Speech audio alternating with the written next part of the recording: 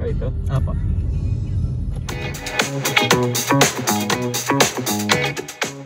Hello everyone, I'm gonna give you a walking tour of the newly opened Citadines Roses, Quezon City. Let's go! We're gonna have an overnight and very excited ako na matry itong new urban lifestyle experience ng Ascot Property. And as I've mentioned, kaka-open lang nila nitong January 2024 and at the end of the video, isi-share ko sa inyo ang kanilang introductory promo. For those wondering, Citadines Roses Quezon City is located at 100 Don A. Rosas Avenue, Obrero, Quezon City. So as you can see, this is the ground floor wherein aakyat tayo sa lobby which is located at 8th floor.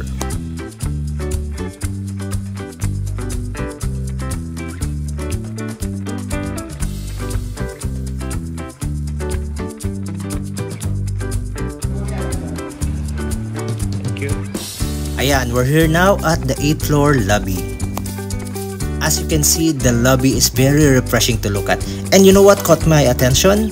It's the wall backdrop inspired by the timeless Buskalan tattoos of Apo Wang Od. Wow!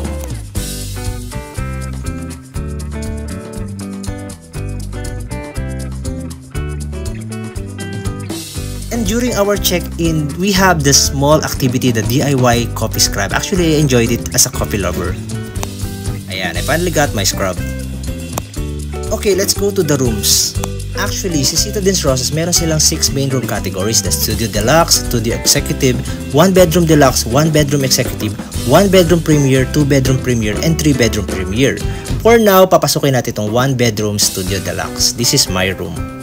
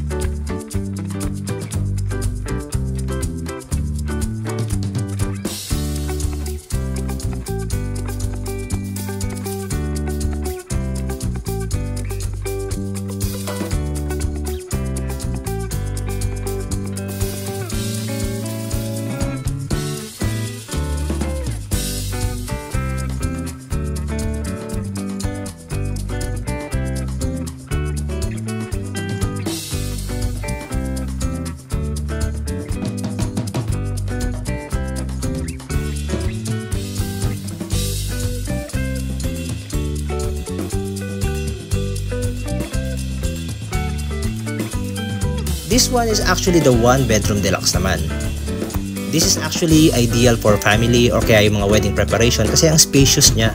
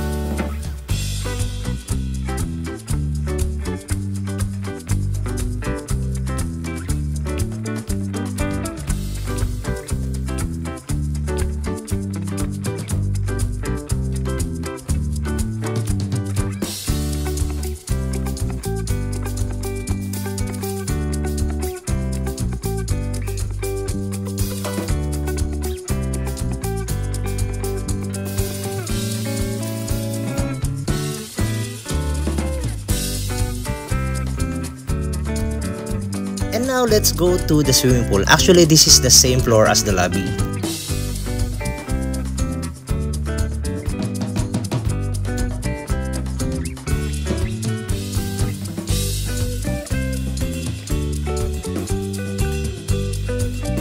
Napakaliwalas and the view, it will give you the stretch of Quezon City. Tara, let's take a look.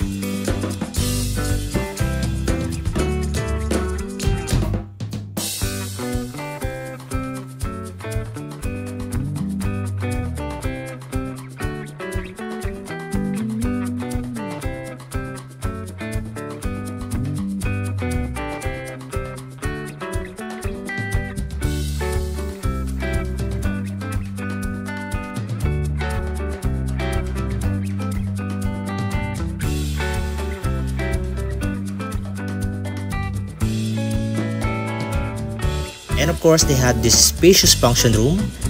Based on or depends on your preference, this can actually accommodate up to 180 packs. Wow! This long view room can actually be divided into different rooms.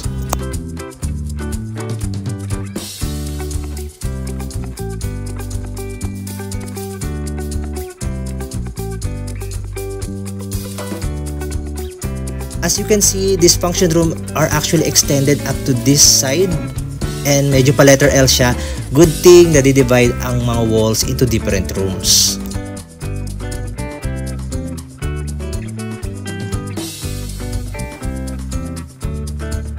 And you also have this laundrette. This is actually 24-7. So if you have laundries that needs to be washed, just go to the 8th floor.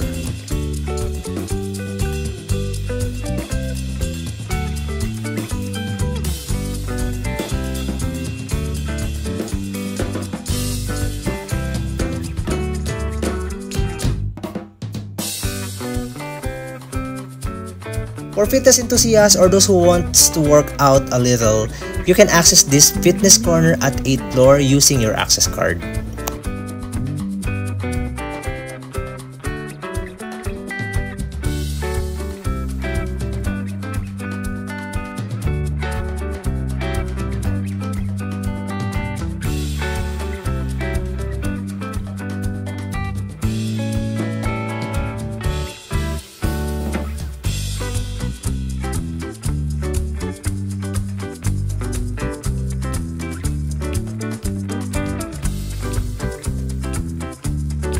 Kanina while going in, napansin nyo na yung Alejo. This is actually the in-house modern Filipino restaurant of Citadines Roses.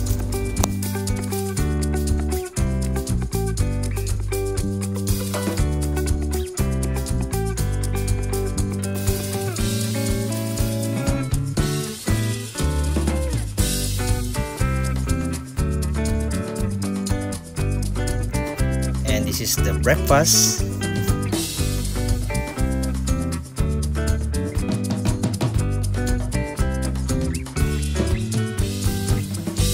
There you go guys. And since they actually just opened, they have this introductory promo. This is the early bird promo up 35% of your stay.